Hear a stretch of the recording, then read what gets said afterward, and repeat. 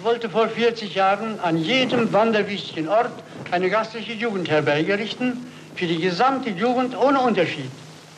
Und an dieser Aufgabe arbeitet das Jugendherbergswerk auch heute noch.